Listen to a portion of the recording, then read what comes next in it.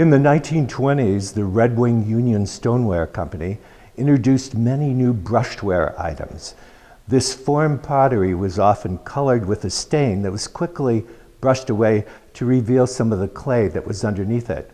Here we have several examples in our gardenware display that were made during the 1920s. There are examples of jardinières, bird baths, a sundial, and other floral containers.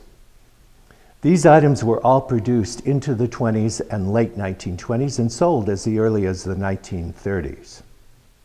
In the late 1920s, Red Wing Union Stoneware Company built a new tunnel kiln and branched out into the art pottery field and began trials of glazed artware.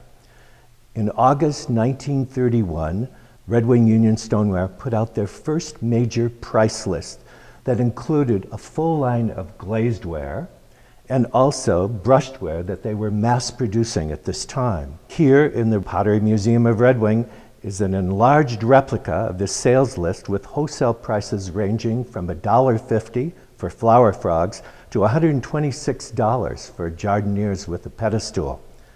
And those prices were for a dozen items. Here we see the cases of glazed items that were featured on the Red Wing price list from August of 1931.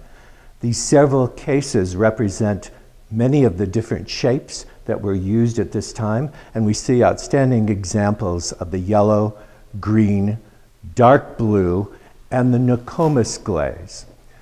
The Nokomis glaze that we see here down on the end was described as having a metallic finish in gray and tan with a hint of copper.